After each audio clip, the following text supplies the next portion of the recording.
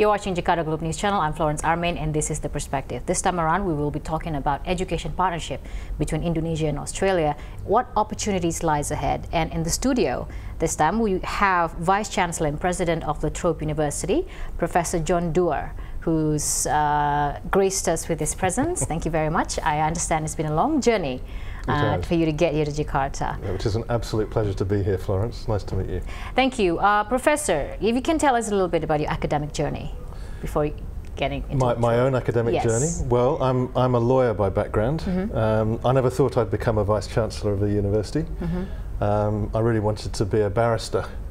Um, but barrister, international uh, a lawyer, and now you're a vice chancellor of university. That's right. But I, I just fell in love with universities. Uh -huh became head of a law school, then dean of a law school, mm -hmm. uh, then took over running a business school as well, mm -hmm. and eventually found myself in a position where becoming a university president was the next step, mm -hmm. and I was very lucky to be appointed to the position at La Trobe University mm -hmm. just over four and a half years ago. Mm -hmm. What about university life that's, uh, that's, that, that, that's appealing to you? um, it's endlessly fascinating. Mm. Universities are full of really smart, very highly motivated, very competitive people uh, doing great things. Mm-hmm. That's, that's really it in a nutshell. Uh, and for me, it's an enormous privilege to be able to play a leadership role in an organisation like that. I just think universities are one of the most important institutions in any civil society.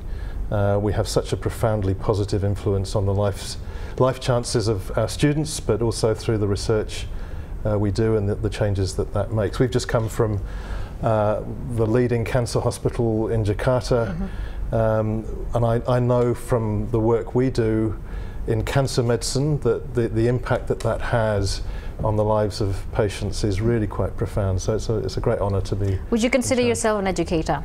Um, yes, I would. Mm -hmm. I would. Um, it's not, as I said, it's not what I thought I would become. Mm -hmm. um, but uh, my mother was a teacher, and I think there's always been that part of, of me that has enjoyed interacting with students yeah. and discovering new things. Yeah. Yeah.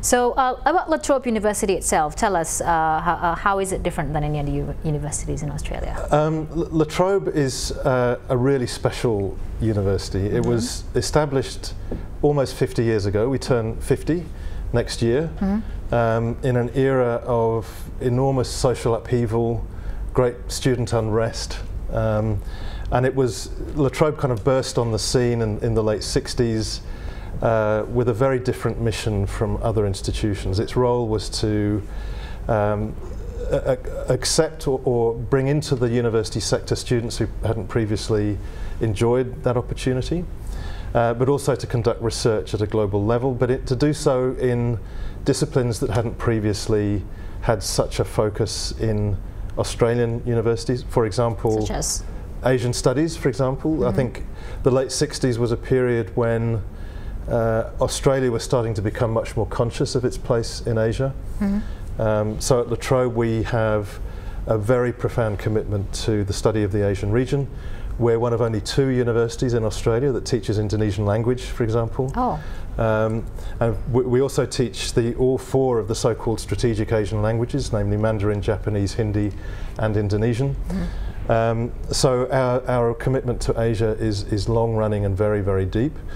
Um, but other areas that were only just becoming topical at the time, like environmental studies, uh, water management, uh, and so on. So the university has really developed over the, over the last 50 years into a very powerful research organization. We've just been ranked in the top 400 universities in mm -hmm. the mm-hmm. world. Um, and in the life sciences, which is one of our particular strengths, uh, we've just been uh, ranked in the top 200 universities. So. Mm -hmm one of the things I'm proudest about at La Trobe is the fact that we are such a diverse community of staff and students. We have international students from 120 countries around the world.